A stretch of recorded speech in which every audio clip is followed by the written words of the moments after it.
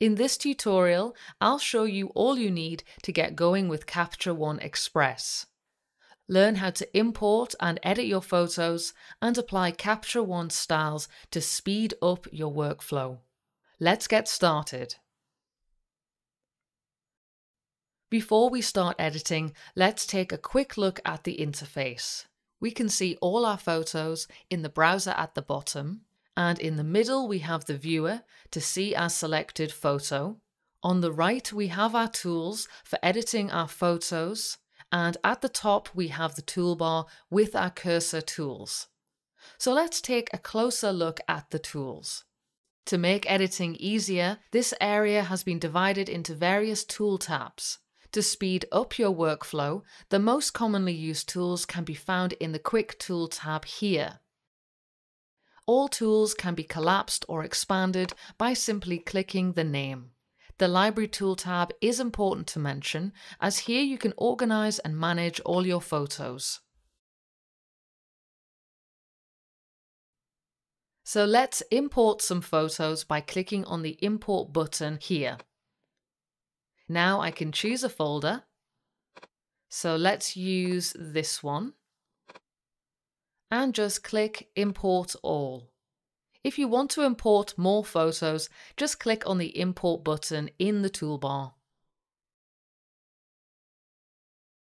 To speed up your workflow, Capture One can automatically adjust photos for you, either one at a time or several in one go. So for a single image, simply click on Auto Adjust in the toolbar at the top. You can also select which tools you'd like Capture One to automatically adjust by simply holding down on the Auto Adjust button. For more than one photo, I'll first hold down Command on Mac or Control on Windows and click to add some more photos to my selection, and then click on Auto Adjust as before.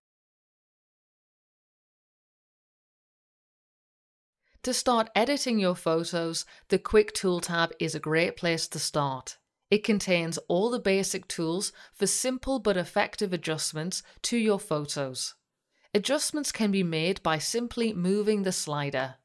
So if you would like to reset back to the default position, just double click anywhere on the slider bar to get back to zero. So this image is a little dark, so I'll increase the exposure.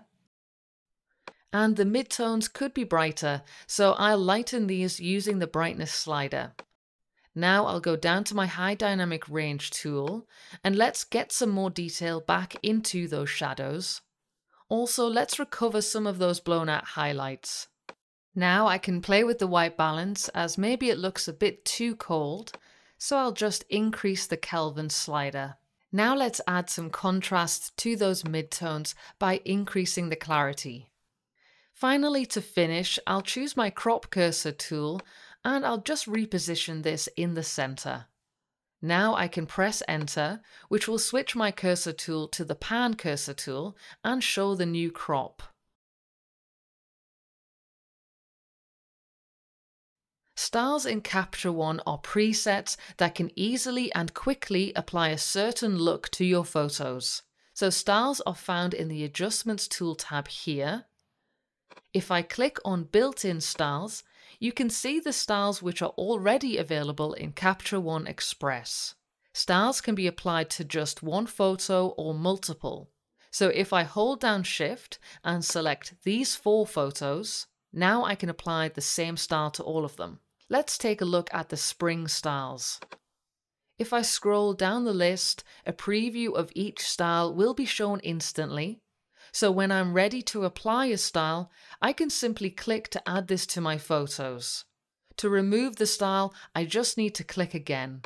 So I'll choose this style because I like the look of that one.